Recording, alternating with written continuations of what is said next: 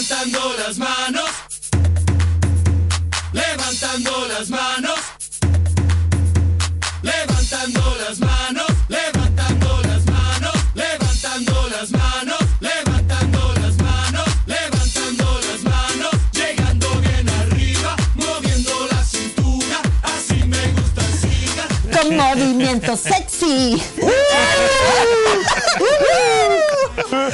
Todos los amigos No le, el coro. le damos la bienvenida de nuevo, ¿cierto? Estamos ya en- entrando a nuestro último bloque, pero no podemos dejar de mencionar, chiquillos. Miren qué bien acompañada me siento. Mira. Miren, a ver, Mira. vamos a hacer, pero date vuelta, hombre. Entonces ahora vamos a hacer que ustedes sean mi- como mi columpio. A ver si me pueden. Eh, a ver, vamos, a ver. Necesitamos, necesitamos a nuestro preparador físico acá. Oye, pero ahora vamos a decirle a todos los amigos recordar hasta dónde nosotros llegamos. Bueno, la región metropolitana nos puede ver en Santiago, Loarnechea, Las Condes, Colina, Providencia, Vitacura y Santiago Centro, en Chicureo también en condominios de Chemicero y en condominios también de sectores como Win, Lampa y Colina y a través dónde de, más? de Telefónica del Sur. de Telefónica del Sur en las principales comunas como Concepción, Chillán, Los Ángeles, Temuco, Valdivia, Osorno, Puerto Montt, Chiloé. Chiloé y Coyhaique. Mira que nos vemos en todas partes. Mira, ¿ah? llegamos hasta el sur de Chile.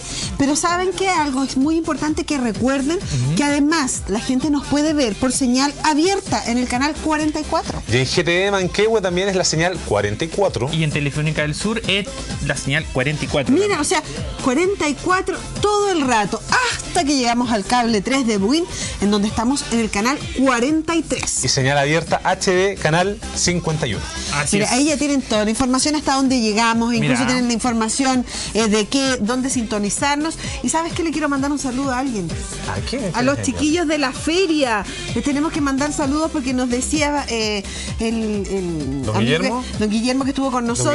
Que nos ven, nos ven harto por allá. Así que chiquillos de la feria, para todos ustedes, muchos besos. Y pronto nos vamos a dar una vuelta por ese sector, claro. Y tú pues. sabes que los amigos de la feria generalmente son los lunes los días que descansan. Generalmente. Así es. ¿eh? Mira, entonces es, ahora están es. ahí echaditos. Probablemente están ahí- eh, guatita tapadita, hasta arriba, hasta Y te, día y te cuento otro dato, que los lunes, eso sí, en la madrugada, o sea, ya tipo 11 de la noche y ya en la madrugada del martes, salen a trabajar, a comprar todas las cosas ahí a los mercados. Como a las 3 de la mañana Claro, salen, ¿ah? no, mucho, mucho antes inclusive. No, a las 3 de la mañana, te lo digo. ¿Cierto, Mucho antes, ¿cierto mucho antes. Pipín?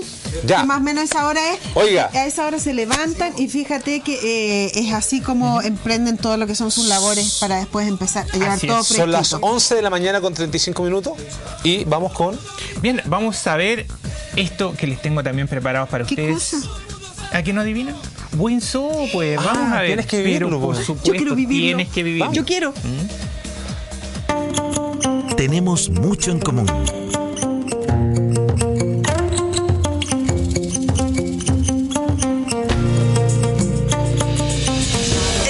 Vacaciones de invierno disfrutemos juntos de las novedades de Winso. Conoce al leopardo de las nieves, una especie única en Chile. A nuestra jirafita recién nacida y la renovada granja educativa. Estás así de cerca de hacer feliz a tu hijo estas vacaciones. Winso, tienes que vivirlo. La feria. Sí. Oiga, así que buen, Windsor, tienes que vivirlo, así que muy buen panorama entonces para los fines de semana. súper De todas Ah, y maneras. hay que ir abrigado, por favor, porque aquí es importante no exponerse a los cambios de temperatura. Así es. Bueno, eh, la verdad es que el Windsor está a un nivel mundial, topísimo. Yo he ido mundial. muchas veces, fíjate, no tiene nada que envidiarle a ningún ningún eh, zoológico eh, Extranjero. Extranjero. Ya. En Europa, no, absolutamente nada. Así que, bueno, ya que me permitieron quedarme aquí por un rato más, ¿ah? Que nos gusta tu presencia. Muchas gracias. acá. Sí. Igualmente digo yo. Sí. ¿ah? Así que vamos a seguir conversando, por supuesto, lo que es la cultura, lo que es el arte. Y ahora quiero invitarlos a ver algo que también es muy especial y fue el ciclo de música del sello Parra. ¿Mm? ¿En qué consiste esto? A ver. Yo les voy a contar absolutamente todo. Bueno, el sello Parra es un sello que fue creado por uno de los integrantes del famoso grupo Los Jaivas. ¿ah? Estamos hablando de don Eduardo Parra.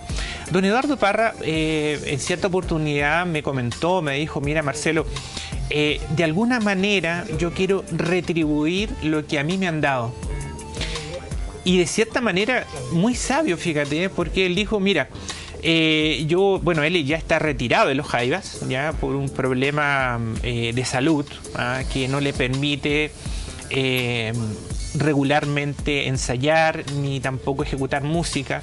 Y él está dedicado absolutamente a este proyecto que se llama Sello Parra, que consiste en un sello donde él promociona a jóvenes talentos provenientes de los colegios, eh, jóvenes también que no tienen espacios, que no tienen dónde grabar, dónde mostrarse y que no aparecen ni en radio ni en televisión, que no son nombrados en ninguna parte. Junto con todos ellos hicimos un ciclo que se llamó el ciclo Sello Parra aquí en San Bernardo de la Casa de la Cultura. Y fíjate que fue fantástico porque gracias a eso pu- pudimos descubrir eh, talentos que yo te digo, realmente uno dice, pero este es un país lleno de talento. Yo veo algunos programas que no los quiero mencionar acá, pero una cantidad de cantantes, fíjate, cuando hacen estos castings masivos para ciertos programas de televisión que son para eh, buscar la mejor voz o buscar el mejor talento, son castings masivos que se llenan de gente, estamos llenos de talento, pero no tienen los espacios suficientes como para poder desarrollarse, Y muchas crecer. oportunidades se van perdiendo estos chicos Se que tienen perdiendo, grandes talentos. Y sabes qué? a mí me ha pasado, eh, yo creo que a ti también, Marcelo, que de repente uno ve estos, estos programas que dan en la televisión, eh, que, como mencionas tú, que son de talentos. Así es. Y uno los escucha y hay muchos que están ahí y no son tan buenos como los que uno ve en, en estos festivales municipales, en estos festivales comunales, y, y ahí realmente uno se da cuenta, como bien dices tú, Chile, país de talentos. De todas maneras, fíjate. Vamos a ver lo que nos trajiste, ¿te Bien, vamos a ver eh, solamente uno de los siglos eh, y vamos a escuchar una voz que es privilegiada, es maravillosa. Yo se las quiero recomendar, chiquillos, porque realmente Milosh Caballero, ella realmente se pasa. Tiene una voz de oro, preciosa. Como para contextualizar un poco y presentarla, fíjate, ella desde pequeña se relaciona con la música a partir de los 12 años, cuando, bueno, obviamente comenzó a tocar la guitarra, comenzó a experimentar con su voz, pero también ella es compositora, es cantautora, es arreglista, instrumentista desde los 17 años que comenzó esta carrera y fíjate que no tenía un espacio suficiente hasta que llegó al sello Parra y esto es lo que yo quiero invitarlos a ver. Vamos con ese video.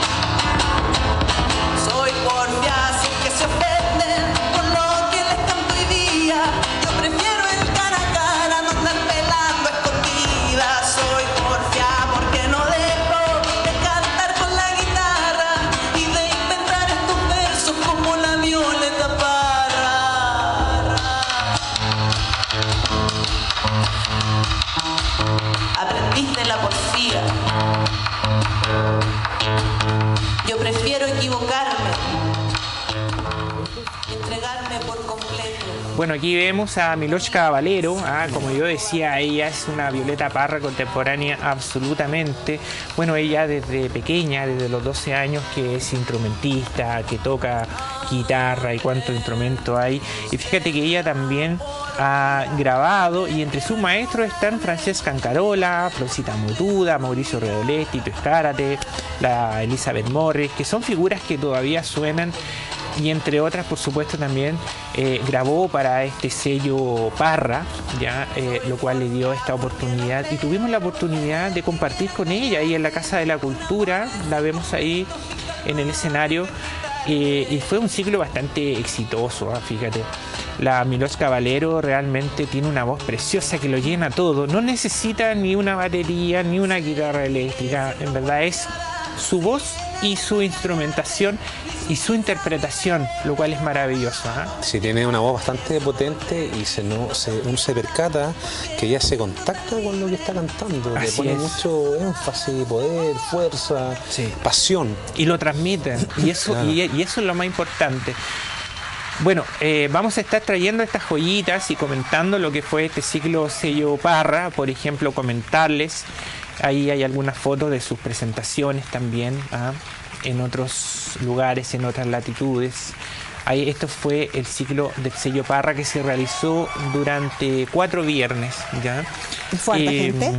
Fíjate que la gente empezó a enganchar de a poquitito, ¿ah? como que, porque este, este, este tipo de música, fíjate que tiene espacios que son especiales para gente que conoce, para, para gente que ubica también todo esto. Pero poco a poco la gente se fue entusiasmando y ya el último día era un lleno absoluto. ¿ah? Y bandas totalmente distintas entre sí. Teníamos la Milos Caballero, una muy buena intérprete, pero también teníamos bandas de rock. Hay una banda que es muy buena que se llama la Banda Estación. Ellos son de, de Estación Central, por eso se llama Banda Estación. Eh, y fíjate tú que mm, Eduardo Parra los apadrinó. ¿ah?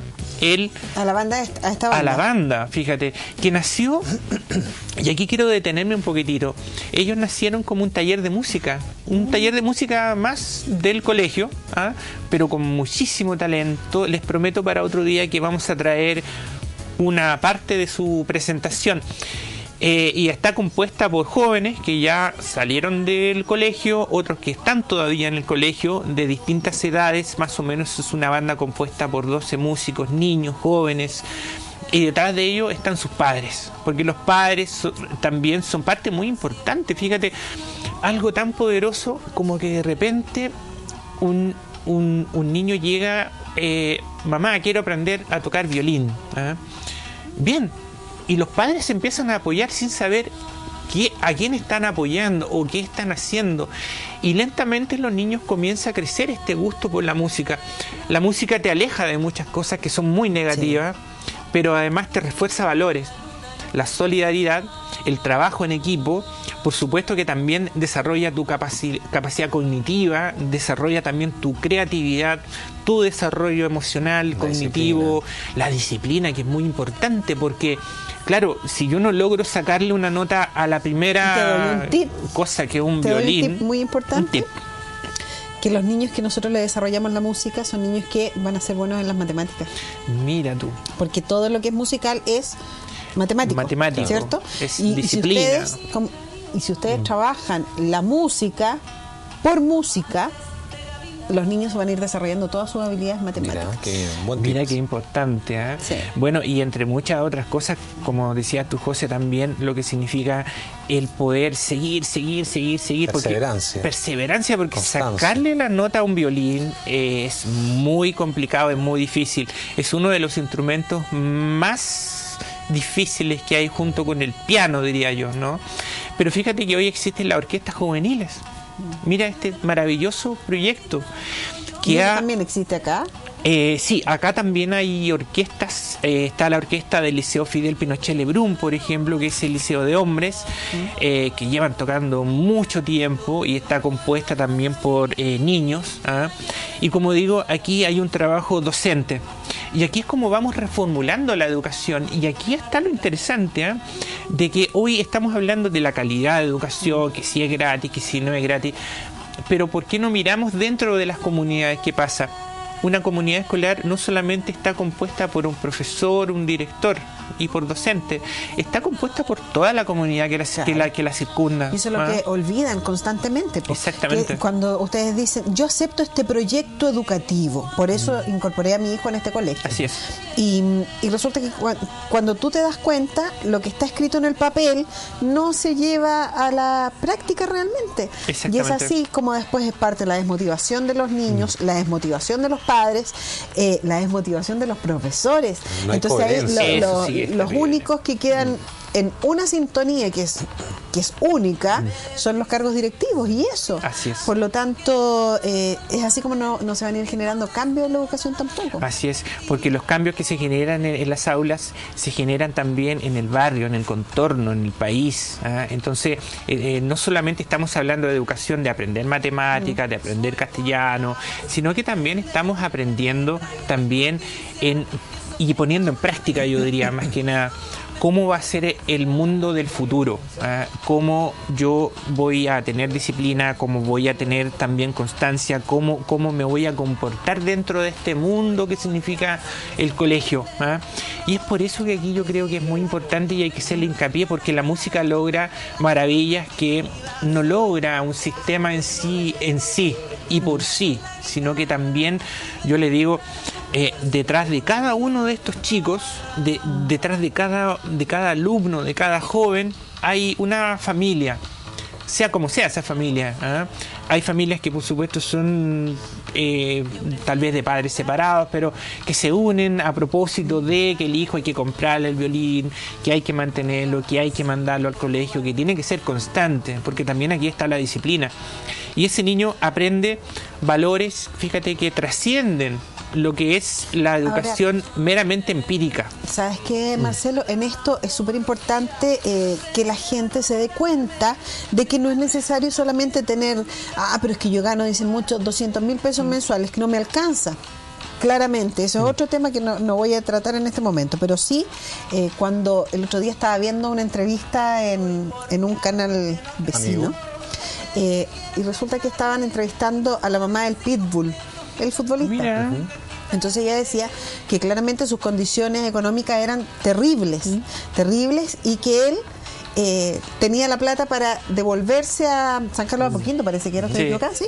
Eh, para ir y volver, pero no tenía plata para darle para comerse un pancito, con una papa frita, que no sé qué, no sé cuánto. Entonces muchos de sus amigos hacían como una vaca, como se dice popularmente, y le, le compartían algo. Pero esa mamá todos los días, supongamos en esos tiempos que tenía que tener esos 600 pesos. Y mira lo que él consiguió ahora por el apoyo de sus padres, siendo que la mamá tenía solamente para darle eso. Si esto nosotros lo llevamos a un niño eh, en cuanto a la música, en cuanto al teatro que le guste, en cuanto a la actividad, a la disciplina que sea, al deporte, el básquetbol, fútbol, gimnasia artística, el que sea, nosotros nos damos cuenta que aquí el rol fundamental es de los padres, para que ellos digan, así como una mamá del pitbull o tantos otros ejemplos, pongo, pongo este porque lo vi hace pocos días en una entrevista, eh, que los papás de repente tienen que en vez de decir, ah, ¿para qué vaya a ir a lesear? Yo lo escuchaba, pero ¿para qué va a ir a lesear? A lesear vaya a ir a puro perder el tiempo. ¿Cómo sabes que va a ir a perder el tiempo si no le das la oportunidad para ver eh, cómo él se puede desenvolver artísticamente o deportivamente, ¿te fijáis? Entonces, a partir de eso, yo creo que esa parte es súper fundamental entre la conversación de los papás y todo. Totalmente de acuerdo, fíjate, y eso va creando patria y va creando también como estos casos que son súper patentes ¿eh? de jóvenes futbolistas que alguna vez soñaron y vieron a sus astros de repente en la televisión o en alguna pichanga de barrio y se dieron cuenta, uy, me gustaría estar ahí, yo puedo, porque fíjate el pitbull pegándose en medio pique Claro. allá arriba Sí. donde termina el mundo para él, ah, pero comienza otro mundo. Y esa es la esperanza y eso es lo interesante de que mediante el arte, mediante la cultura, se van generando estas dinámicas que son interesantes, fíjate. Y, Y estas se- dinámicas se interesantes Se involucra. Involucra. y se involucra a las ¿Sabes que comunidades. el otro día, claro, no recuerdo claro. bien, una frase que decía, eh, tus sueños de hoy, tus sueños de ayer son la esperanza de hoy día y la realidad quizás de mañana. Entonces yo creo que a partir de eso todos nosotros debiéramos pensar en que sí se puede. Por Adivina, supuesto. ya se nos está terminando No el tiempo, te puedo creer, juro. no. se nos está No terminando el pueden tiempo, Carlitos, ¿qué nos dices? ¿Sí? ¿Estamos? ¿Estamos? Estamos, Estamos oh, así, miren. Esto Se es como un pasó- paso se de pasó reggaetón. volando el tiempo, no ya lo son puedo creer. 7 Pero- minutos para las 12 del Sí, día. no nos, Increíble. no nos va quedando nada entonces, pero lo que sí, oye, este último, ¿alcanzamos a dar un tips más? ¿No? ¿Sí? Ok, Acá hay algo que estábamos copuchando. Toma, ta- muéstralo tú, que tú lo leíste bien, pero ¿Llega la estábamos copuchándolo con, Mira, con esto Marcelito. apareció en el diario de hoy, que es muy interesante. Si compran el diario o lo pueden ver por ahí, googlear o ver en internet. Hay algo que es muy interesante. Mira, voy a desplegar un poquitito ahí para que puedan ver lo, la importancia de la letra manuscrita. Fíjate, eh, y lo habíamos comentado por ahí someramente de que hay un proyecto en un país que es líder en lo que es- son proyectos educativos que quiere que ya la letra manuscrita eh, se prohíba en los colegios y solamente se use la letra escrita en computador. ¿ah? Yo creo, fíjate, craso error. ¿ah? Craso error, ¿por qué? La, la letra manuscrita es muy importante, desarrolla lo que nosotros estábamos conversando recién, ya que estamos hablando de educación y me gustaría leer, mira, solamente un parrafito como tip. Fíjate, esta iniciativa es eh, de Finlandia, ¿ah? en donde se creó toda una polémica porque eh, van a mm, hacer que la caligrafía tradicional, es decir, el manuscrito, vaya desapareciendo y le dé paso más hacia la escritura automática o lo que uno hace en teclado. Computador Es verdad que los niños, fíjate, y, y lo hacen muy rápido. Mi hijo, por ejemplo, Teclea rápidamente en, el no sé celular. cómo lo hace. Rapidísimo. A mí me cuesta mucho de repente, estoy así, la R, la A, y tengo que volver atrás. No, ellos tienen ya incorporado Ah, es eso. por eso que te demoras como cinco días en responder un correo. Por eso no contesto los WhatsApp. Por eso Tenemos no que los contesto. Oye, que pero ¿sabes rápido. Marcelo? Sí. Con respecto a esto que está pasando y que, bueno, lo, lo hace Singapur, Finlandia. No, Finlandia, Finlandia. Bueno, resulta que eh, en, en relación a eso, el que se acabe la- el escribir así, Mm. se acaban las funciones básicas de los niños, coordinación, atención, concentración, memoria. Lo, dice, lo dicen muchos estudios. Lamentable. Así Tiene que com- hacerse una fusión de ambas. Se nos complementa. acabó. Mm. Marcelo, Se acabó. muchas gracias por venir, por estar con nosotros. Me encanta haber Y estado esperamos contigo, me para una encanta, próxima oportunidad. De todas maneras. Y desde aquí, desde, desde los estudios de Canal ISB, pongámonos de pie, por supuesto. Vamos a invitarlo para que el día de hoy en la tarde nos siga viendo desde las 16 hasta las allá, estamos de allá, 16 a 18 horas. Ya no deje de sintonizar Canal ISB, la programación más sana y la invitación es para que mañana nos acompañe nuevamente. Así que nos vamos, pásenlo muy y bien. recuerden a las nueve y media el Festival del Folclor, no se Eso, olvide. un nuevo Así capítulo. que, bueno, ahora sí, vámonos, volvamos local vamos. dire, vamos la- vamos. local Y no se olvide de la frase más dire, importante del porque día. juntos, Juntos se, pasa mejor. Chao. Yo no soy man